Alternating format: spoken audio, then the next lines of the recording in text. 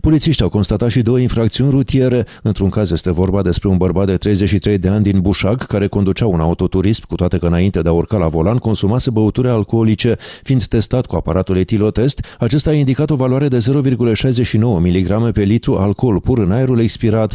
În al doilea caz, polițiștii au intervenit la un eveniment rutier sesizat la 112, soldat cu pagube materiale în orașul Tăuții Măgherăuș. Conducătorul auto, un bărbat în vârstă de 37 de ani, avea o alcoolemie de 1,15 mg pe litru, alcool pur în aerul expirat. În ambele cazuri, polițiștii au întocmit dosare penale pentru conducere sub influența alcoolului.